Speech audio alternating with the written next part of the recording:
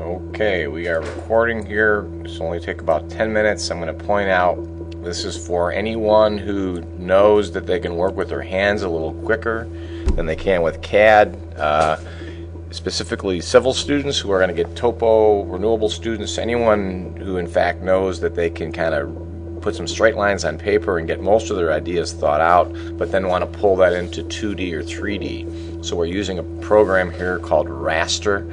Um, we'll talk about the difference between Raster and Vector. AutoCAD is a vector engine. Raster are things like JPEGs, pictures, bitmaps, lots of stuff like that. So we're going to do it really quickly here, but what I've done coming into this is I have scanned an image if you're smart, you'll have put something on that image that is to scale in both the X and the Y directions.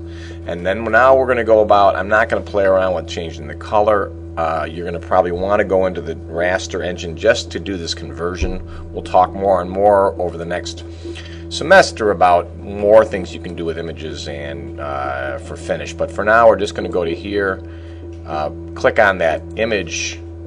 Um, ribbon here and we're going to import a or insert an image and the image will be probably a JPEG there's a lot of them out there I'm going out I did not map my K drive bad for me but I can remember all of us that it's actually the students read write delete directory that we're going to to civil tech. And then I think I put it down here. I put it in something called saw. So those of you who might remember this it's Halloween week. Um, it's an image file. You start coming through here, you might know the scale. You don't necessarily have to know the scale. It's a good idea to know the scale. You hit next, you hit finish, and you bring it in, and you've got something there that actually now is an image. And you see this image here now is it's a color, probably a couple color image. And the key to using this raster to vector, or ve uh, I'm sorry, raster to vector, is that you need a bitonal image bitonal, which means it's either on or off. You can realize if you work in different colors that are on different parts of the spectrum, you can actually use filters to have a series of bitonal images. I think anyone who's worked in the print shop might be able to explain how that works. But what our next step is, if we can get this thing to scale, it's a great idea, but I'm not going to do that here. I'm just going to click on it and process the image with a histogram. Okay, so I'm going to escape out here. I'm going to process image to the histogram here, and I'm going to select the entire image. And it's going to now, you want to go to threshold here. And what you're going to do is you're going to play around with the threshold, right, to get it to a point where you're kind of going to be turning things into black and white. This is something you play around with. You hit apply and close, and you get something that looks something like this. All right. Now, I believe the key is going to be it's got to be the reverse. It's got to be white on black, and so we're going to have to look at process image here, uh, clean up, perhaps invert. Right now we've got something that looks like this, and so you're going to have to use the histogram and the invert. Now look at the beauty here. You're going to have a number of different followers, but I'm going to try first for the civil students this idea of following a contour line. I'm going to go to polyline follower and I'm going to go find a point and watch what it just did. It went around there. I'm going to hit, you can go B for back, but I'm just going to hit enter here, finish it out, and watch what it does. It cleans that stuff up.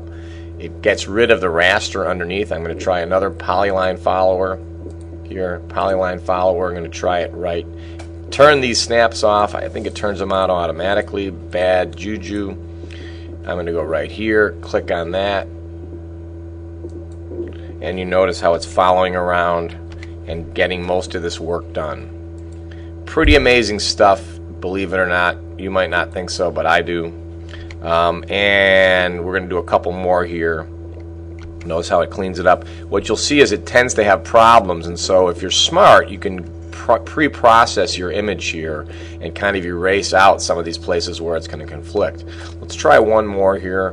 Polyline follower. I'm going to grab this line right there and notice how it went all the way around and cleaned it up right there. So pretty scary stuff let's try. That's the polyline follower. You can clean up this image very quickly. It's coming to be Halloween. We'll try one more here.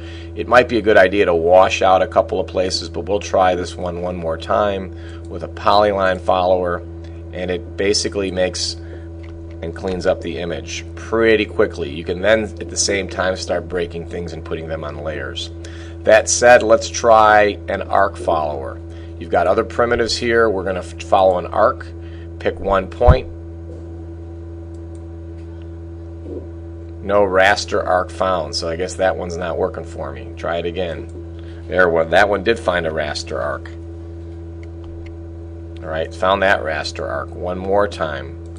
An arc.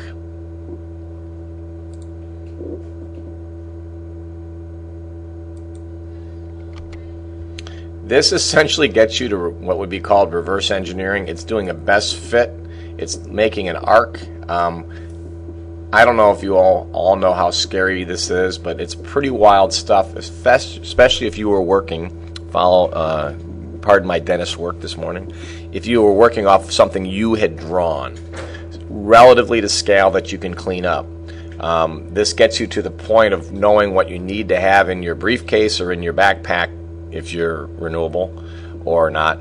Um, I got a backpack, um, a couple of triangles, uh, a scale, probably a calculator, and some colored pencils.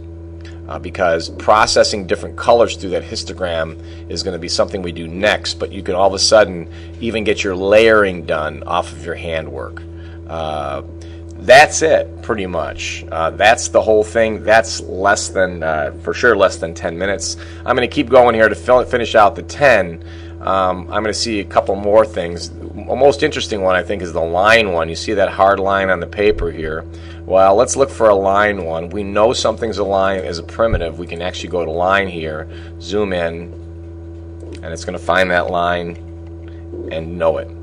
Let's finally check the text. I'm going to be dying to know if it can actually recognize the text. All right, so we're going to, yeah, I want to go OCR, so recognize text.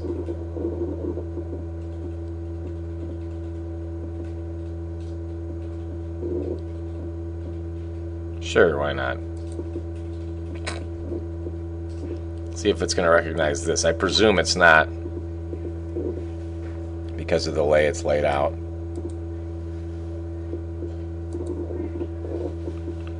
It has a problem because it's turned upside down, right? But it will not have a problem if it's really well blocked in. So that's what we got. What were the steps? A, you need to scan something. The next thing you got to do is you've got to um, bring it in as a JPEG and process the image through the, the histogram and make it a bitonal, right? You need to make it a bitonal image. You do that by going to threshold. I'm going to hit details here. So it can't do that because it's already been done. You go to histogram. You make it a bitonal image by taking it through the threshold. You then go to cleanup and invert the image so it is black on white. From there, you use things like polyline follower, contour follower. Pretty much these two will do what you need to do, and then primitive follower. You can then put those things on layers and you are good to go. This uh, software is installed on a number of the computers. Um, uh, Mark Patak is glad to train and have you train each other. This is an important part once you go from knowing how to do vector work in AutoCAD Exact uh, and then also knowing how to do things with your hands, paper, how we can bring these things together and go from a 2D world to a 3D world or just a better 2D world with little work.